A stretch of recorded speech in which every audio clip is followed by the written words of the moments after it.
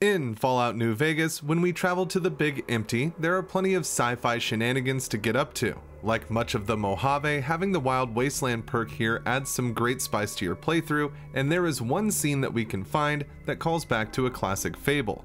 At the construction site near the edge of the map, amongst the crystals protruding from the ground, we can find seven intact garden gnomes, which are pretty rare outside this encounter. The gnomes have pickaxes and lanterns at their feet, and in the center of the group is a grave. This is one big reference to Snow White and the Seven Dwarfs.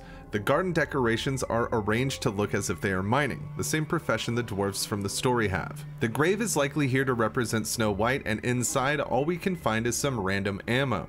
There is some good loot nearby though, as we can grab a Valence radiusentiator that sits on top of the crane. This is an interesting sight to come across as we are traveling around Big Mountain, and it offers rare item hunters a boost to an otherwise incredibly scarce item with the intact garden gnomes. It just leaves me wondering who is in the grave and what exactly happened to them. What did you just say to me? Cause you sure as hell got my attention now.